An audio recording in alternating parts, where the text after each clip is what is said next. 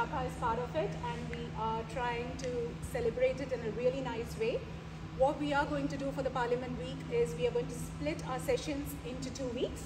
So uh, this Friday we are going to do the initial part before the MPs go into the Parliament, the first part of it which is electing your MPs, uh, which will be from the local constituencies or areas from where the MPs will be selected and today we are going to do that process and uh, the UAs, three UAs and one BAL have kindly agreed to be the party leaders today uh, who will be contesting the election as your local MPs and you're going to listen to what they have to say and you're going to vote for them. So we are going through the voting process today and everybody everybody will get to participate. My name is Intia and I'm, I'm representing the Bright Minds Party for your future MP.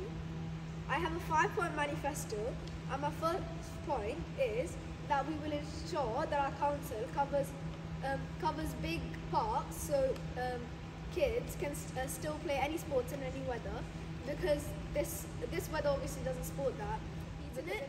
That will uh, improve their physical uh, their physical progress, progress and their academic progress. Um, and the, schools can also use the field that we've been covering up, so that ties to my first point. My third point is that I will... And I'm representing the Global Peace Party. So I've done a manifesto with five categories, education, economy, infrastructure, housing and transport. So first, ed um, education. So I want to promote want to promote education access across the country and make it affordable, such as uh, utensils, such as uh, pencil cases, pens, so that everyone can gain a right to education, regardless of their status, financial wise or any other. And next, economy. Uh, we need a sustainable economic development for the country, and I promise to reverse the current economic dip. My party is Ameliorate Party, which means the act of making something better. So we're striving to make um, the world a better place, especially Buckinghamshire. So my first point is inclusive inclusive inclusivity.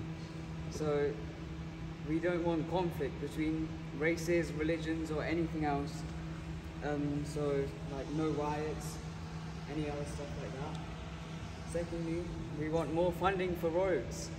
Who likes driving and going into potholes? so, yeah. Next, there's so many burglaries in Amersham and Buckinghamshire in general. So, okay, first of all, who's been walking home from school and it's already pitch dark? Like, just raise your hands. I mean, it's pretty annoying, right? And imagine if you have a club. Like, imagine if you're trying to play football, if you're trying to just like go on a walk, it's pitch black. So my first, my first point is to establish new playgrounds and new indoor sports facilities for younger children whether that be by refurbishing, refurbishing existing ones or building new ones, because I really think that would help. Please vote for Bright Minds Party. Please vote for Ameliorate. uh, please vote for Global Peace Party.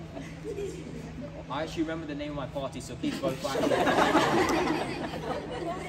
Hold it, hold it. Sorry, push it. And then...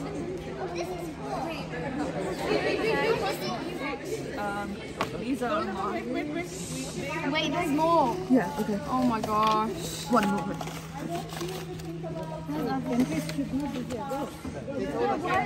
Why are they? Why are they saving? Yeah, because we're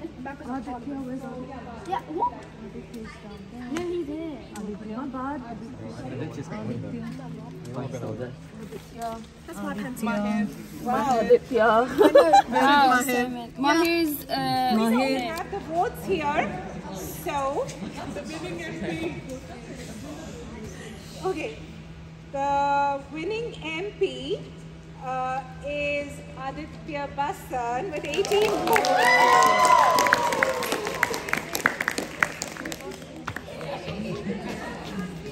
Because he's less than 18, for the next session he can't be the ruling party. so the next, the next person who wins with him will support him to be the ruling party, which is Karthik. Uh, he is won nine votes. And then I have next is Mahir with eight votes and Shrenik with five votes.